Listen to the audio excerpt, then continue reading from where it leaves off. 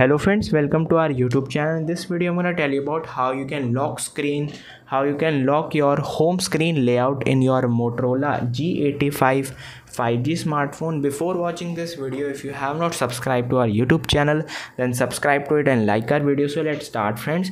Friends when uh, you have given your phone to kids or someone and it will uh, just do this. Take your apps and just place it in the another window and just misplace your apps. How you can lock your layout? First you have to open your home settings. Then you have to apply this lock home screen layout.